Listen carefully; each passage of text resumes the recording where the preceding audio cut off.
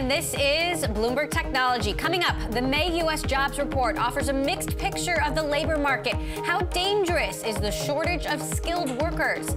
Plus, Walmart is upping its game in its retail rivalry with Amazon. We head to Fayetteville, Arkansas, where thousands of Walmart shareholders have gathered at the annual meeting.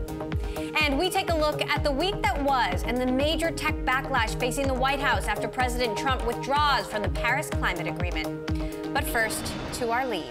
The U.S. jobs report added 138,000 jobs in May, the labor market giving mixed signals the unemployment rate declining to a 16 year low, contrasted with hiring and wage growth that fell behind economist consensus.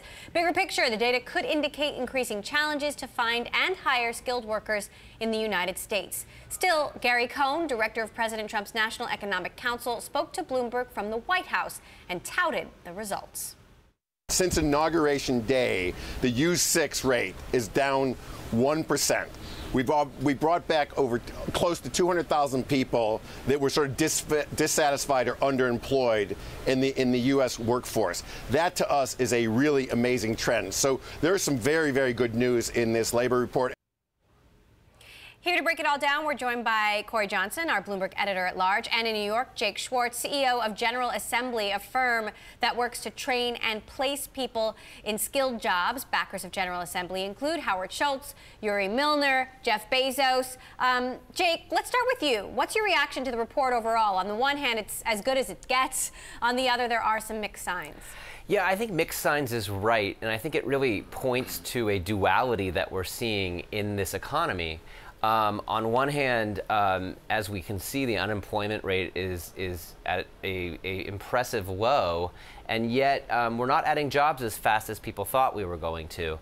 And I think the reality is, and, and, and, and there's another sort of stat that is not in there, which is that we have um, an incredible number of outstanding job requirements out there in the market that are going unfilled. Um, and, and you hear constantly from employers about the, the troubles and the expense that they are, um, they are facing in, in order to fill their skilled, skilled jobs. And uh, what it really seems to be is that there's this this incredible um, sort of tension between the overall sort of job economy and the skilled job, job economy.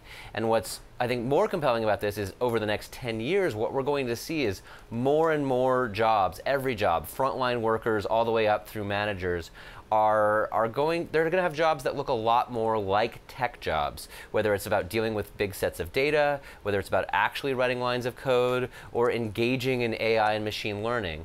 And so, you know, at GA, we are spending a lot of our time working with large companies, um, you know, major members of the Fortune 500, um, talking to them a lot about new ways of investing in their existing employees, as well as finding innovative ways to sort of disrupt their traditional recruiting and staffing models of, of solving um, skills gaps, and instead working to to train and source the right talent for for the coming shifts. Corey, obviously technology is changing the job market dramatically. Yeah. At the same time, you have tech CEOs like IBM's Ginni Rometty saying they're going to add thousands of jobs. How does it all balance out? Well, I, you know, there's certainly a, a, a, General Assembly is all about that, right? This sort of matching the skills gap. But uh, in this employment report, it was kind of interesting that uh, the computer uh, systems, which is one of the categories that uh, the Labor Department gives us, actually saw zero growth of jobs in the, in the most recent month. And that the, the, the place in the margins where this economy is going to add jobs really can only be in, in, manufacturing more than anything else, and maybe some in retail. That, that adding jobs in the computer sector the of, the, of, of, of uh, the employment picture is actually harder and takes longer. Those jobs also tend to be jobs that people tend to keep. There hasn't been a lot of job hopping uh, as there had been in the past. And that was one of the reasons that today's report had zero growth in computer jobs. Jake, what would you say in terms of fields and jobs? Which, which jobs are the hardest to fill? Well, you know, we are hearing a, a ton of challenges um, from our employer partners. Um, you know, one of the biggest and the most explosive is data, data science, data analytics. Um, you know, thanks to our friends at, at, at Burning Glass, um, you know, we've seen that uh, the statistics that say that you know data jobs have essentially tripled over the last um, three years. Uh, more importantly, I think there there are estimates that you know in the next five years we're going to end up with a 1.5 million dollar, uh, not million dollar, million person deficit of managers and analysts who are trained and able to deal with the large data sets that most companies are planning to rely on as part of their competitive advantages. So data is a big one. Um, you know, obviously anything related to web development, mobile development, um, software engineering, um, and then there's also other other interesting niche areas, um, UX design. Um, you're seeing um, a lot of stories about companies reducing the ratio of engineers to designers on, on product teams, and that's going to lead to an increase in demand for designers. Um, you know, digital marketing, uh, marketing as a field has gone through an incredible shift um, from being a primarily qualitative exercise to being extensively quantitative, um, and that's going to involve a huge pressure to find people with those quantitative skill sets, uh, which again all, comes all the way back around to data. Corey, how does what's going on in the U.S. compare to what's happening globally? Um, the employment picture here has just been very, very strong for a very long time. And, and the shifting employment, you know, you mentioned IBM. IBM is actually shrinking its workforce, even though they're putting out press releases about hiring people. But uh, but you see a lot of movement into all, all, sectors of the economy, and it's getting harder and harder to find jobs.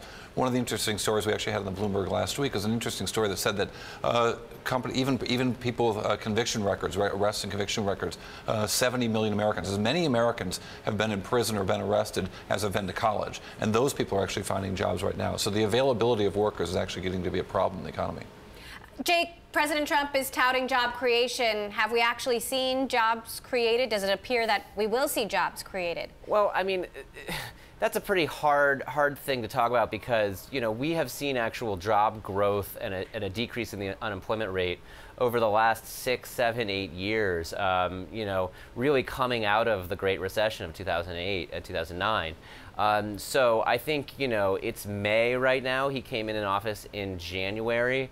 Um, typically, um, the things that an administration has its in power to do, um, there's typically a longer lag than that in order, in order to get the economy really uh, responding to anything that the executive branch of our government can do. Well, and, and, to that, you know, it's, it's Donald Trump has inherited a very tough act to follow with the big job numbers the Obama administration has put up, and it's going to be really hard to add those numbers. But manufacturing is actually the part of the economy where he's maybe most likely to have some input. What about retail? We saw 6,100 people lose their jobs there.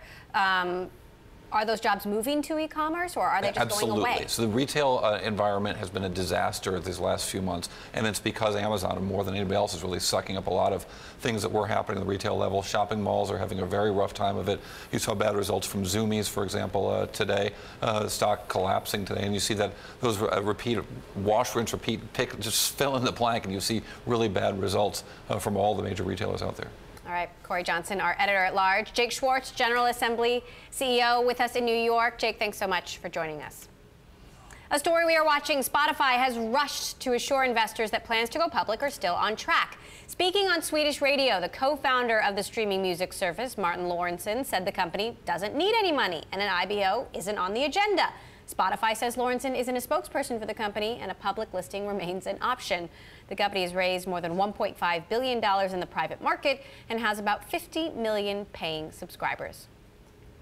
Coming up, we head to Fayetteville, Arkansas, where thousands of Walmart shareholders have gathered at the annual meeting. We'll look at how the retailer is stacking up against e commerce rival Amazon. And Bloomberg Tech is live streaming on Twitter. Check us out at Bloomberg Tech TV weekdays, 5 p.m. in New York, 2 p.m. in San Francisco. This is Bloomberg.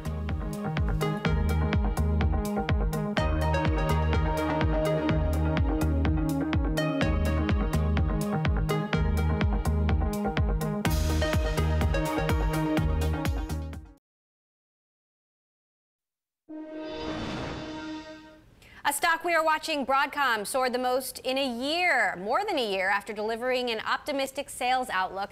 The chipmaker's rapid expansion has made its earnings an indicator of demand across the communications industry. Its chips perform key functions in connecting phones and running the infrastructure that directs traffic across the internet. Broadcom chips are used in Apple and Samsung smartphones. Walmart is sharing the spotlight with Amazon at its annual shareholder meeting. The world's biggest retailer is charting its course of action to take on Amazon by becoming more like the e-commerce rival. I think that two-day free shipping on millions of items that will grow over time is a compelling customer offer. I don't think you should have to pay for shipping. Yeah. Uh, sorry. With a membership fee. This comes just one day after Walmart announced a program that sends store employees to deliver online orders at the end of their shifts. Bloomberg's Emma Chandra was at the shareholder meeting in Arkansas and spoke to my colleagues Mark Barton and Vonnie Quinn a bit earlier. Amazon is really the big competitor now for Walmart as it's ramped up its e-commerce offerings. You mentioned they announced uh, a new program yesterday which is going to try and have uh, store employees uh, deliver the final mile for online deliveries. They've also been, uh, they've lowered the threshold for free delivery on online orders down to $35 uh, and actually Amazon uh, matched that, which is something that is unusual for them, for them to do. this has all been happening over the last year, so it's a very different situation from the shareholders meeting last year. This is after they acquired Jet.com. They paid $3.3 billion for that. And, uh, and the founder of Jet.com, Mark Lore, came with that. He's now runs the whole of Walmart uh, e-commerce. and he's really been spearheading uh, this move to improve e-commerce for Walmart and take on Amazon.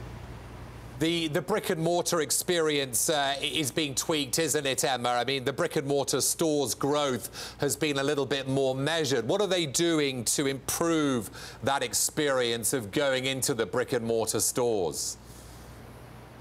That's really interesting, Mark, because actually I was talking to an investor yesterday who said, you know, the Walmart uh, experience is not all about Amazon. It doesn't need Amazon to fail for Walmart to succeed. Actually, more important for Walmart in a way is that other retailers are doing badly. And so they want to look, they want to see that Walmart is making the most of its brick and mortar, um, its brick and mortar stores. They've got 4,700 here in the US. They've got over a million employees, and they've been really focusing on better training for employees, cleaning up stores, making sure they have higher quality and more diversified products. Um, and they've also really been focusing on grocery. They see that as a great way to get people into the store. It's 50% of their sales, and they feel that they can leverage both brick and mortar stores and online in grocery as they've introduced things like click and collect, which seems to have been very popular, Walmart tells us, among families. Yes, and of course, Amazon does have a little bit of time on Walmart because it's been delivering for a long time, Emma, but maybe, you know, Walmart can have the edge when it comes to produce and, and groceries eventually. But I do want to ask you about upping minimum wage in certain areas because that was a problem for Walmart when it was taking a charge for that. What is the company saying about wage growth now? So, uh, as you may remember last year, Vonnie, they, um, they made a commitment to boost wages for all their employees in stores. That's been seen as a, a good move. It's been uh, taken uh, in a good, positive manner by investors. We haven't heard anything else today about what they might do to improve those again, but we obviously had the jobs report today and it shows further labour market tightening. And for a big employer like Walmart, that's obviously got to be something that they're going to be thinking about. That was Bloomberg's Emma Chandra reporting earlier from Walmart's annual meeting on Bloomberg Markets. In the auto space, Tesla has been a standout this year, eclipsing General Motors in market cap. But should investors be betting on the promise of Tesla's future compared to the current state of GM? David Einhorn, co-founder and president of Greenlight Capital, spoke earlier on Bloomberg Daybreak Americas about shorting Tesla stock, which he thinks is in a bubble. There you have a guy who's done all kinds of fancy innovation and, and is thinking about how society should be 50 years from now, 100 years from now, but he's yet to actually take any money and turn it into a profitable business. And I, and I don't have any optimism that that will change. Well, uh, you, you may be right. We'll find out about Tesla. But there seem to be a lot of investors who are willing to give him more money to do science experiments or whatever he's doing. Yeah. I mean, how much commitment do you have to have as a long short investor? When you go short on something like Tesla, that can get pretty painful. Yeah, look, um, Tesla is one of you know many things we have in what we so call call our bubble basket mm -hmm. of stocks that we just think are mispriced, and they're mispriced by huge, huge amounts. And um, you know they're sized in a way that gives us the ability to you know wait a fair amount of time to be proven right or wrong. I think eventually the, the mood of the market will change. Eventually, the company will be called into account to demonstrate profitability. I don't know when that will happen, and, and the portfolio is positioned properly relative to the risk and the reward there. That was David Einhorn, co-founder and president of Greenlight Capital, speaking earlier with David Westin on Bloomberg Daybreak Americas. T-Mobile is setting the stage for a possible merger with its wireless rival Sprint.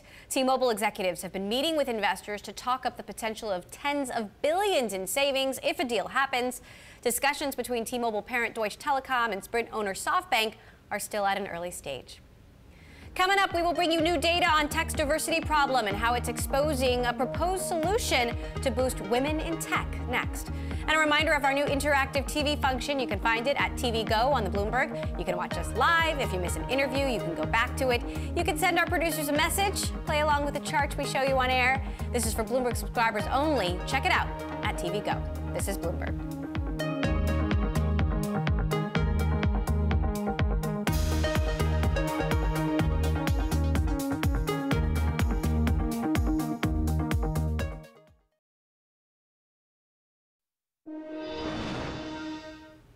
Ride-hailing startup Lyft released its first staff diversity report, revealing more women and minorities in technical roles than rival Uber, which presented its demographics in March. Lyft said 18% of its tech workers are women, compared with just 15% at Uber. 11% of Lyft's tech workers belong to a group other than white or Asian. That's almost double Uber's corresponding figure. The inclusion reports come as Lyft has tried to distinguish itself as more welcoming than its larger foe, which has been plagued by allegations of sexual harassment and gender discrimination. Speaking of diversity, when it comes to boosting the number of women in tech, people often point to the lack of women in venture capital, believing that an increase of women in VC would in turn pump up funding in companies founded by women. But a new Bloomberg analysis shows evidence that debunks that hypothesis, finding that firms with senior women partners backing companies founded or co-founded by women at roughly the same rate as firms with no women in senior roles. Joining us now to discuss our Bloomberg Tech reporter, Sarah McBride. So exactly what were the findings here? Well, the findings showed that even though everyone thinks more women VCs would back more women founded companies, that's not necessarily true. There are some women VCs who back a lot, but overwhelmingly that was not the case. So how did you choose the firms? How did you yeah, find tough. the data? It was a big project. Some of this is very closely right. held. so what I did was I went to CB Insights and I gathered data on what are the women-founded companies that have raised uh, the most money, and also I looked at what are the companies that have um, the venture companies that have had the most unicorn exits in the last five years. So that became my universe of top companies. That means any newer VC firm wasn't included in this study. So then once I had that information, I went and saw how many women partners were at each of those firms and also what their companies they'd backed were at Series A level and above, so not the really small rinky-dink mm -hmm. angel rounds and were any of those companies founded by women? And I took a very expansive view, like if they had someone who was a co-founder who maybe wasn't there right at day one or a woman CEO, I would count that too if they could make a good case. Now, one of the most interesting parts of your story to me was some of the comments made by female entrepreneurs right. and also female VCs. Talk first about what uh, some female entrepreneurs had to said about women VCs. Right. Well, I spoke to a bunch of female entrepreneurs who said that many women VCs hold a ton of networking events. There are all these like coffee meetings for women founders and so on. But then when it comes to actually getting investments from women VCs, that's very different. You can network all you want, but that's not the same as getting a check. So they found that when they actually went to pitch women VCs, often women VCs were very tough on them. They couldn't say if they were tougher on men or not, since obviously you mm -hmm. only mm-hmm. see your own pitch. But they felt that compared to male VCs, they asked a lot more questions, mm -hmm. wanted a lot more data. And one woman VC, uh, one woman entrepreneur told me she got to the point where she dreaded going to pitch women VCs, which is sad. What about what women investors had to say? Because you know, there, some seem to have concerns that if they do fund women, they're going to be perceived as having a bias towards women, right? Right. Some said that. Um, one told me she was worried about kind of being lumped together. Oh, she only backed that um, woman entrepreneur because she's a woman, and look, she really screwed up. So they'll kind of write off the entire gender based on one case, which makes it a little easier to back uh, men if you're a woman. And she realized she was subconsciously thinking that, and then, of course, wanted to stop thinking that. So this leads me to the next question, which is, you know, is the answer just to get more women in VC so that they're not so isolated, right? I, think, I still think we need more women in VC, for sure. Whatever the results. Right, because eventually that won't be the result anymore. I mean, and also younger women VCs don't necessarily feel this way. They haven't had to blaze the trail in the same way, so they might not be carrying all the career baggage some of the older women VCs are. One, Jess Lee from Sequoia told me, I think being a woman is a competitive advantage. Mm-hmm. She specializes in consumer businesses, and she thinks that the bulk, because the bulk of consumer decisions are made by women, she has an advantage in understanding the female consumer that many of her male colleagues will never have. Are there any other studies on this? about about this oh, particular oh, yeah, subject? Absolutely. So there's one study that uh, did a very wide look at you know every VC firm and found that if you look at the overall universe, that women VCs were more likely, but that took every rink-eating firm into account. Okay. There was another one okay. from Penn and NYU We'll have to leave it yeah. there. Oh, oh, sorry. Okay. Sarah McBride, our VC reporter. Great read. Check it out at Bloomberg.com. Thanks.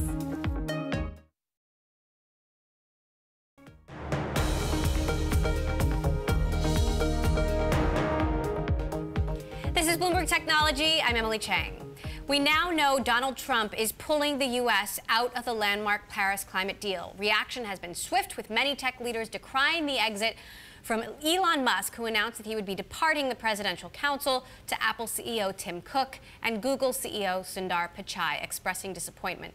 Joining us now to discuss this and other tech stories that grabbed our attention this week are Bloomberg Tech executive editor Tom Giles and Bloomberg Tech reporter Eric Newcomer. So, Tom, first of all, the tech community and other business leaders quick to express disappointment. You even had Bob Iger also departing the presidential council what does it mean if these people aren't going to sit at the table with President Trump? That didn't go over well here in Silicon Valley at all. I mean, to what extent was engagement? The idea is engagement gives us, you know, enables us to sway policy, enables us to be part of the conversation. Well, what has it gotten for them so far? I realize it's early days, but he's been pretty active in terms of dismantling some of these protections, regulations that Silicon Valley really, really favored. IBM's Ginni Rometty not leaving yet. Um, Elon Musk, Bob Iger say, forget it, we're done. How much does engagement really buy you in DC? And I think so far the answer is not a whole hell of a lot. And President Trump's argument is how much does staying really buy the U.S. or matter at all? Take a listen to what the president had to say about his decision. The reality is that withdrawing is in America's economic interest and won't matter much to the climate. The United States under the Trump administration will continue to be the cleanest and most environmentally friendly country on earth. Eric, you were at the Code conference this week. A lot of tech heavyweights. This was the talk of the conference. Hillary Clinton was there speaking as well. What did people have to say? Yeah, it was an amazingly uh, political conference. Hillary Clinton was the headliner. Kamala Harris spoke along with Laurene Powell Jobs, who was there to talk about sort of Im her immigration activism. So just overall, I think a lot of people wondering how, you know, trying to understand their disconnect from the rest of America, both culturally and politically. Um, and so I think people are more sort of scratching their heads and then trying to figure out how they could step up, do something. A lot of questions about fake news, you know, how much social media platforms had to figure out how to get the truth to the American people and whether Marc Andreessen then said that was a condescending idea. So people still trying to figure it out was, I think, the main takeaway. There had been a lot of concerns about the relationship between Silicon Valley and Washington because tech leaders had been so outspoken against the election of Trump to begin with, and you saw them actually going to the table when he invited them to that initial meeting after getting elected. And now, here, another divide. I wonder what it actually means for the future of the bridge between Washington and the Bay Area. Well, I think I think that bridge is going to start is starting to be dismantled a little bit. You're seeing, you know, look at the statements that you heard from Tim Cook and other leaders over the course of the week. They echo what we're hearing from Germany, France, other parts of the world, which is we can no longer feel that we have this alliance with the federal government in the United States. Macron talks about the federal government versus the Americans. We're with the Americans. So Tim Cook and other business leaders are going to increasingly see themselves as needing to set the tone, be the leaders on issues like environment, like immigration, where they feel a disconnect from DC. So more Uber news this week, as every week. always. And number one was the firing of Anthony Levandowski, the head, once head of the Uber self-driving car project, who came over from Google. What is the latest that we know? So, you know, Uber wanted him to testify in their defense. They needed to actually put up a defense. They weren't going to sort of be able to use his Fifth Amendment privilege to protect them in their civil case against Alphabet's Waymo. So eventually he wasn't sort of willing to cooperate with them and produce everything that they needed, so they fired him. And and that that puts the, the, the another potential risk for Uber because now they're sort of at odds with somebody who has a lot of information about what they've been doing. Other Uber news that got buried because there was so much going on this week. They, f- the CFO has left. Yes. And or their head of finance. Head of finance Gautam was left. never officially the CFO. They didn't have a CFO, right, right. so he They're was very sensitive the about that, but they're looking Okay. for a CFO. Yes. So he's he's gone, and Yeah. also we got some new numbers. You got some new numbers about Uber's last quarter. Right. So Uber again shared their numbers. This sh- they lost 700 million. That's down about 700 million, down from like 990 million last quarter. So that's for Uber a pretty good improvement. Lower losses uh, than much of last year in the quarter. Their revenue, and I, I really think people should look at their non-GAAP revenue. It's too complicated to explain why, but like it went from 1.4 billion in Q4 to 1.5 billion in Q1, which is a sl- slower quarter, so some seasonality there, but 100 million dollars of growth in their in their non-GAAP revenue. Tom. Well, I think the Levandowski thing was the biggest Uber news of the week until we get the Holder report, right, which is coming in the next few days. Levandowski, big setback for Uber and its driverless ambitions. He was a big part of why they spent 650, 700 million dollars on Otto, right? He's gone. Some of the people who are loyal to him are also walking out the door. Waymo has a chance to, to come further back from the ropes. Last year, really dire straits for, for auto for Alphabet's uh, driverless ambitions. Waymo has a chance to come back a long way now. Amazon crossing $1,000 a share didn't stay there, but that happened this week as well. Yeah, everybody loves Amazon right now. a lot of people. Um, I mean, I think look at Amazon is the company everybody loves to love right now. They they're looking at e-commerce. They still they're dominating e-commerce. They're killing the retail industry, and there's still a long way to go. I mean, and not just in terms of them selling you stuff, but how they get it to you. Drones, their whole logistics effort. So there's a long way to go on the e-commerce side. Cloud computing, this big emerging business within Amazon, and they seem to be running away with it. Microsoft, Google.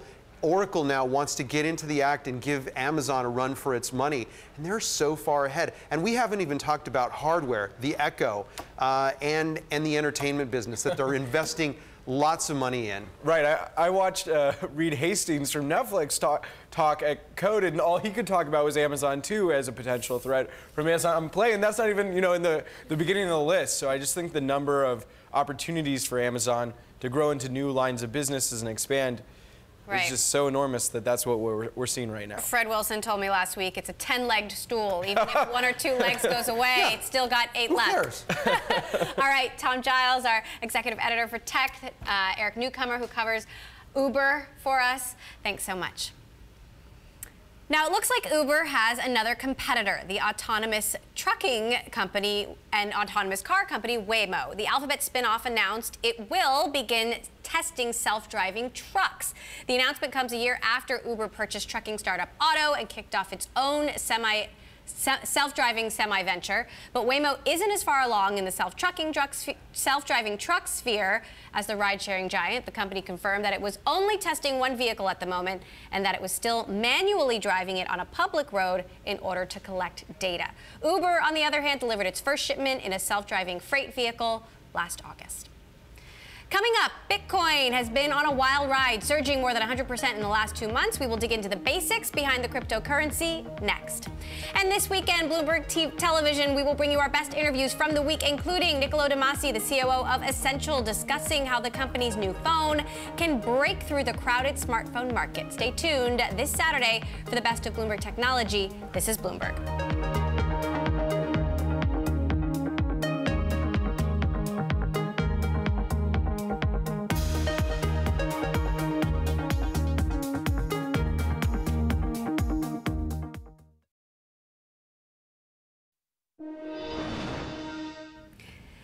To a story that's grabbing a lot of attention in the investing world. After taking a bit of a tumble earlier this week, Bitcoin is bouncing back up 6%.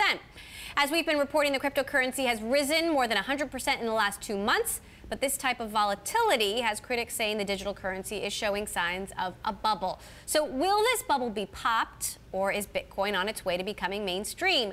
Joining us now, Coinbase Vice President Adam White. Coinbase is an online platform that allows users to buy or sell Bitcoins by connecting with their bank accounts. Coinbase is also in talks with potential investors on a new funding round valuing the company at more than a billion dollars. We'll get to that. But first, you guys don't just deal in Bitcoin, also Ethereum, Litecoin. Talk to me about how the currencies stack up. That's right. So Bitcoin is, I think, the most uh, well-known example of an open or public blockchain, right? It gets a lot of attention, and it's got about a $40 billion market cap. What I find really interesting and what we focus on at Coinbase and GDAX, our exchange platform, is that there are actually dozens, if not hundreds, of these digital assets out there. That each one has kind of a unique value proposition, and our focus is on helping the public, anyone, really be able to access and interact with these blockchains. Olaf Carlson Wee of Polychain was on the show earlier this week saying that he thinks the market cap of Ethereum will surpass the market cap of Bitcoin in the near future. Would you agree? That's right. I saw him comment on that, and both Fred Wilson and he agree. Um, certainly, Ethereum has a ton of developer interest around it right now. So it has a kind of higher order scripting language, so developers can create unique applications and contracts on the Ethereum protocol that they just can't on Bitcoin. That's bringing a lot of attention, a lot of interest, and what's really most important, a lot of real utility to the network. So I, I certainly think it's a possibility. If or when that could happen, I don't know. Some say that Ethereum, you know, it's gone from zero to 10 billion in two years. That if, if you looked at like a startup, it's the fastest growing startup ever. Would you agree with that assessment?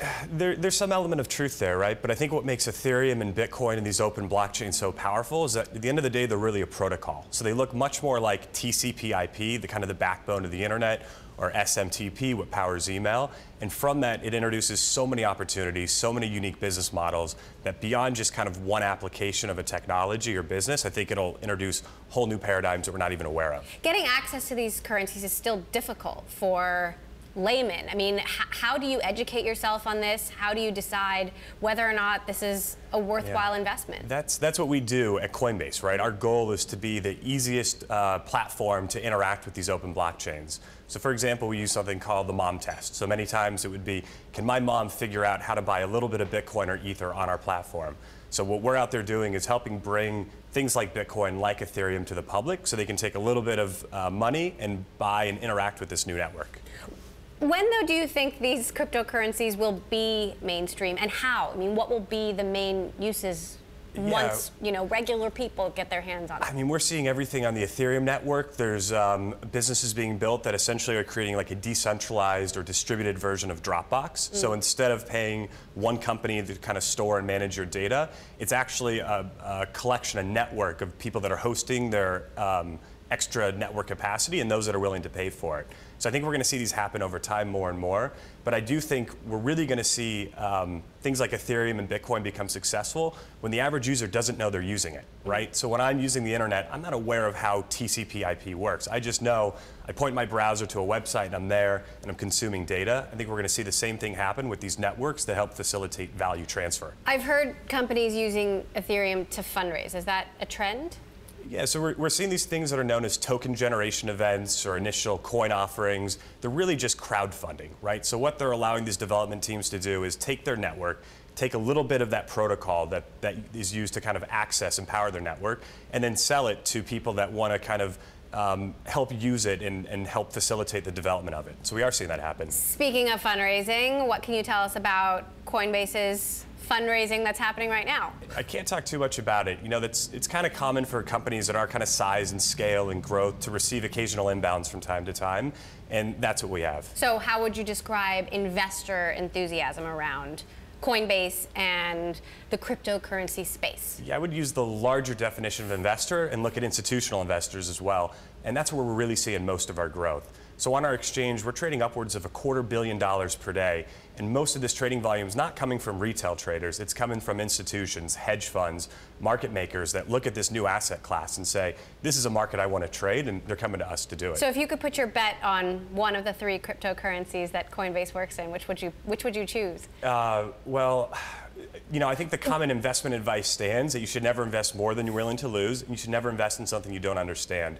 That said, what we're trying to do is make all these technologies simple. So I think the best investment strategy is kind of a diversified portfolio of assets. And do you think that they all will survive or that ultimately there will be one winner? It's a good question. I think we're in the early innings right now, right? So this, if we're looking at the internet as an analogy, we're probably 93, 94, right? We're starting to see a glimpse of, wow, this could be a really powerful new technology.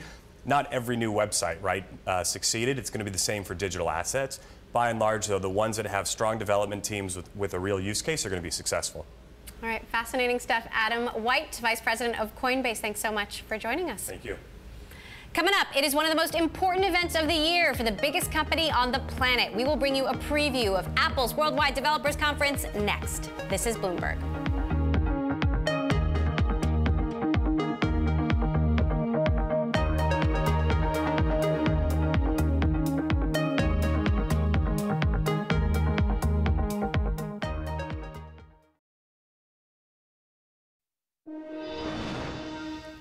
Snap spectacles are making their way to Europe. The parent company of Snapchat announced it will start selling the glasses in the region at its popular pop-up vending machines as well as online.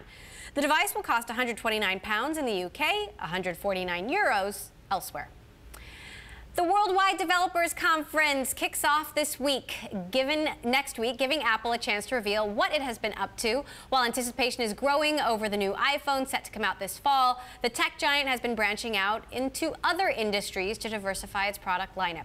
Here with a preview, Bloomberg's consumer tech reporter, Mark Gurman. So you know all the secrets, Mark. What's going to happen on Monday? Well, this is Apple's biggest event of the year. It happens every June. This is the first time that it's in San Jose. Usually they have it up here in San Francisco.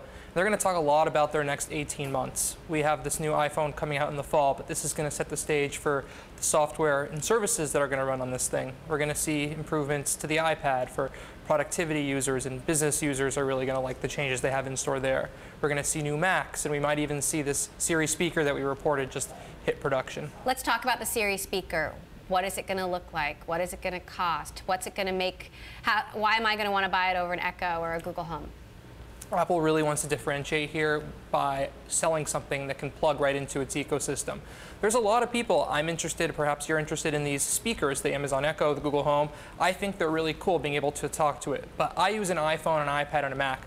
Those devices don't play nicely together. So if I want this cool new speaker technology, I have to go to Amazon, right? And then I have this Amazon unit and I see, oh, Amazon has other hardware. They have their services. And slowly I start ditching my iPhone and then my Mac and my iPad for this new Google or Amazon ecosystem. Apple needs to put a stop to this, and that's one of the main reasons why they have to do this speaker. One of the main things you might use an Amazon Echo for is to order things like paper towels. Are we going to be able to do that on this Apple device? Uh, certainly, there's going to be deep integration with the developer community. They'll, they'll probably have an app store or a framework of some sort so people can develop applications and programs they can control with your voice. Last year, they opened up Siri to developers, albeit on a small scale. So things like Uber and Lyft or OpenTable can integrate it with it. So you can make a reservation with your voice, or you can order a car with your voice. I wouldn't be surprised to see that Siri framework go to a new level so you can do more with your voice, and this being especially geared towards the speaker rather than the phone. Will we hear anything about Apple's efforts in AI? Well, of course, AI is going to be incorporated. And we reported on that AI mm-hmm. chip, which is going to be a big part of their AI efforts going forward. And I think we'll see more developer integration for AI next week. What about AR? AR, that's very interesting. There's there's two parts of AR here. Apple's building these glasses that we reported on, that's at least a few years away. But it would make sense if they come out with some AR software or some frameworks for developers in the meantime. It'll be interesting to watch to see if they do that next week. And what about cars? Cars, yeah. You know, that's one of our favorite topics. We report a lot on that. We're not going to see an Apple car drive on stage, but they've been working on this self-driving technology.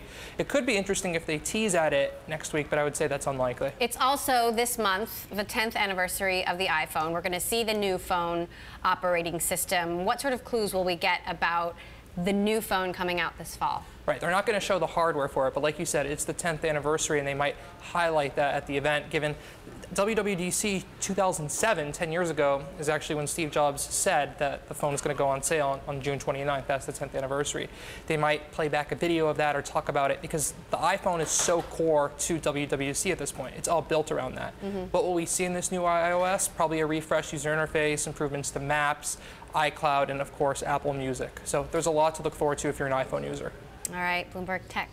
Mark Gurman, as always, thanks for keeping us informed. We will, of course, be there on Monday. Bloomberg Television and Radio will have full coverage of the Worldwide Developers Conference kicking off Monday. Tune in for our coverage of all the announcements, reaction, and analysis. And Bloomberg Tech is live streaming on Twitter. Check us out at Bloomberg Tech TV weekdays, 5 p.m. in New York, 2 p.m. in San Francisco. That's all for now. This is Bloomberg.